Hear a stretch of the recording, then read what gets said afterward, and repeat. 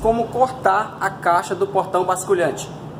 Gabaritinho aqui, fácil de fazer. Esse eu fiz com restos de sobra de caixa de portão basculhante. Nesse caso eu usei a caixa de 15 por 15 fiz uns recortes aqui e fiz esse gabarito para facilitar aqui o meu serviço na serralheria. Se você quiser aprender como eu fiz isso aqui, ó, quer aprender como, deixa aqui para mim nos comentários, comenta aí se você quer aprender ou não. Então vamos lá que eu vou ensinar para vocês como eu faço esses recortes aqui na caixa do portão basculhante aqui na serralheria, certo? Vamos lá. Aqui eu tenho uma caixa de 15 por 15, aqui ela está com comprimento de 2,77. A altura desse portão vai ficar com 2,77. Eu vou passar para vocês aqui qual é a forma que eu uso para cortar essa caixa aqui do portão basculhante. Como eu falei, você pega o gabarito aqui, ó, e fica mais fácil para você fazer os recortes aqui, porque tem essas abinhas aqui, ó, que dá para você cortar tanto faz de um lado como do outro. Essa parte maior, você vai recortar a caixa aqui, que é onde vai ficar aqui o encaixe das rodanas. Então, é só você vir encaixar aqui, faz o risco, risca aqui. Não esqueça de cortar sempre dos lados certo aqui para não confundir. Você está vendo que a tampa está de um lado e a outra tampa aqui onde vai entrar o... Onde tem um acesso aqui a caixa de peso está do outro lado. Então, tá para ambos os lados. Não esqueça desse detalhe. Aí você vem, vira o lado aqui, ó, faz a marcação para fazer o recorte do outro lado. Essa outra parte aqui menor é onde eu faço aqui o guia lateral, eu faço o recorte do guia lateral e faço o recorte também do travessão. Então a gente vai fazer a marcação aqui desse lado. Aqui eu estou usando o travessão de 60 por 40. Se você usar o travessão de outro modelo, o gabarito é a mesma coisa para ambas as medidas.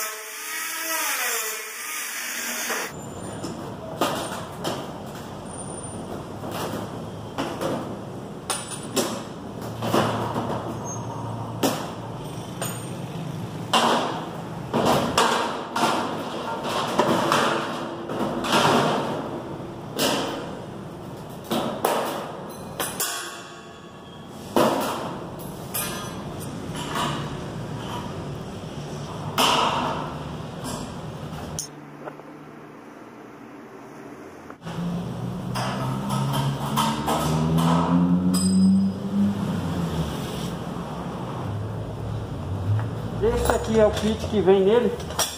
Cabo de aço rodana, ferro chato para prender rodana, rodana de ponto de giro, bucha e tudo mais. Essas aqui são os ferros chatos que vai prender essa rodana. Então aqui ele vem maior de 15 centímetros. No caso da caixa de 15 centímetros, você vai ter que recortar um pedaço aqui para a gente poder montar. Eu vou recortar e já venho na montagem aqui para vocês verem. E com a própria sobra aqui desse ferro que a gente acabou de cortar para poder prender aqui a rodana, cabo de aço, você vai soldar ele na barra aqui no travessão. Você vai soldar ele juntamente com a bucha aí que vai, vai ser colocado a barra estabilizadora. Então vai ficar dessa seguinte maneira aqui. Bucha vai ser soldada no ferro chato e ferro chato vai ser soldado aqui no travessão. A distância que eu deixo desse ferro chato até o final aqui da barra do travessão é de 6 centímetros.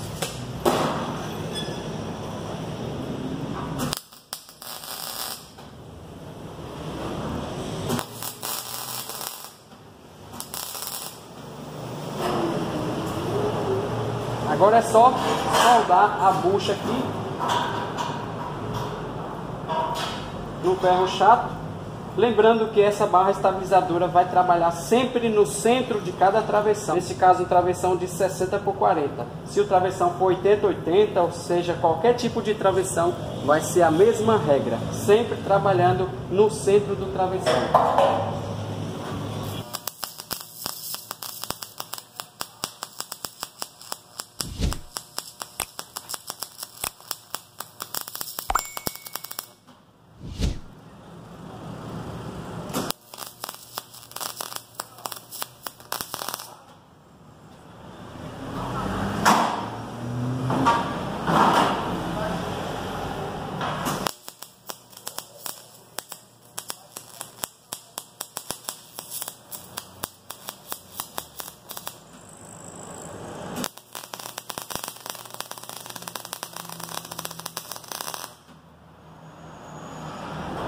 Pronto, essa parte já está pronta. Agora vamos montar a parte da rodana do cabo de aço.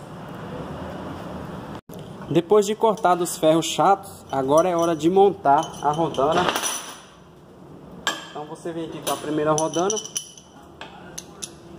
faz a montagem. Com uma chave 14, você vai apertar aqui os parafusos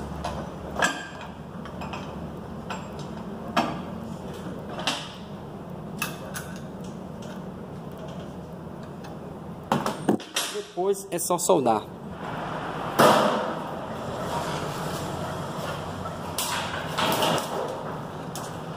Quatro centímetros para dentro.